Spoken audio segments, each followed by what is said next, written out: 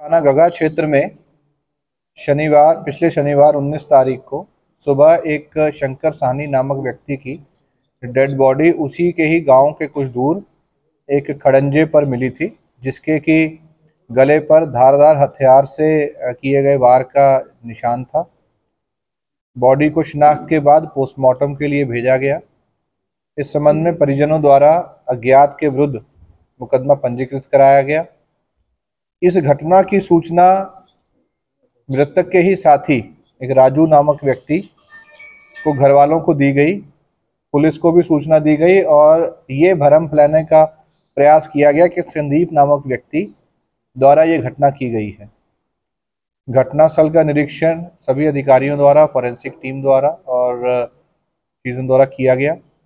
घटना की परिस्थिति जन साक्ष्यों को संज्ञान में लेते हुए सूचनाकर्ता की गतिविधियों को संज्ञान में लेते हुए और जिनको ये एक्यूज कर रहा था, उनका भी गतिविधियों को संज्ञान में लेते हुए ये बात समझ में आई कि उनके द्वारा घटना नहीं की गई है।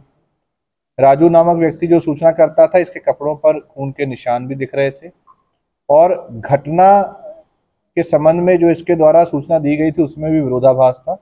जब इससे कड़ाई से पूछताछ की गई तो इसके द्वारा घटना को स्वीकारा गया, जिसका कि मुख्य कारण बताया गया कि इसके कुछ रुपए मृतक के ऊपर उधार थे ये दोनों अक्सर पहले भी आपस में शराब पीते थे।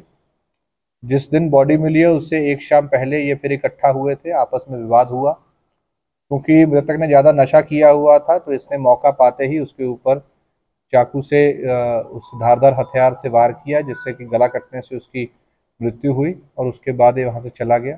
इसको अरेस्ट किया गया है। इसकी निशादेही पर जो आला कत्ल है, जिससे घटना हुई है, वो भी बरामद किया गया है और जो कपड़े इसने उस समय पर पहने हुए थे, जब घटना कारित की गई, उनको भी बरामद किया गया है, इसको अरेस्ट करके जेल भेजा जाए